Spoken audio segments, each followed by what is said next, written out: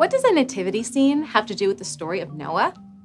Well, at the end of Noah's time on the ark, God put a rainbow in the sky as a sign of his promise not to destroy the world with a flood ever again. Now, after a rainstorm, you can often look up and see a rainbow and be reminded of God's promise.